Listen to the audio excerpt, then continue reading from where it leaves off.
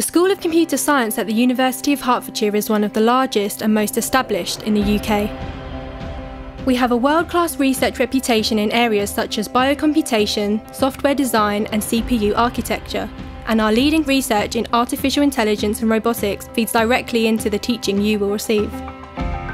Our courses provide you with the essential theoretical knowledge as well as the opportunity to specialise in areas of software engineering, networks, and artificial intelligence. And as a student, you will also have access to a number of industry standard computing laboratories. Our network labs and cutting edge robotics give students the opportunity to apply practical skills these skills, developed in programming and control, can be applied using our Baxter robot, a dedicated robot specifically for use by our students. You can also benefit from extracurricular activities such as working with our RoboCup team, the Bold Hearts.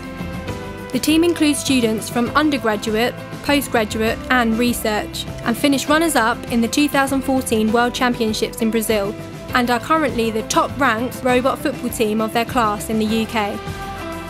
The Computer Science School has developed strong links with businesses, ensuring our curriculum is designed to meet the needs of employers.